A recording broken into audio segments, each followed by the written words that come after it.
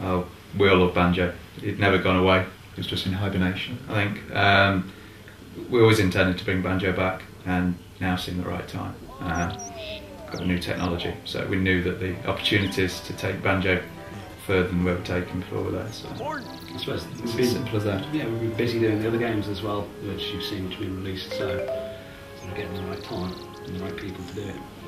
Although obviously the game's um, radically changed, the gameplay's radically changed from the previous banjos.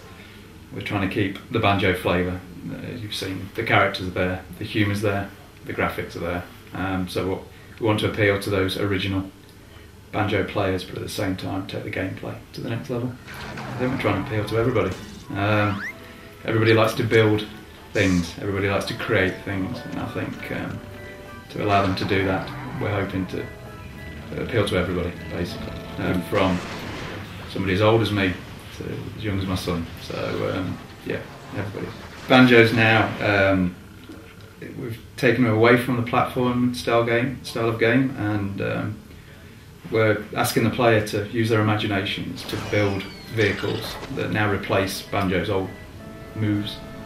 Um, so we have a set of challenges throughout the game that we're asking the player to build a vehicle that they think is best suited to complete that challenge. Um, and whatever they can come up with, we're really interested to see. And if they can complete the challenges in ways that we've not even thought of, then that's perfect.